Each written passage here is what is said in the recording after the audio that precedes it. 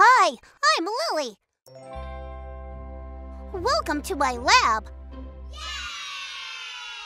You have big questions? So do I. Let's dig for answers together.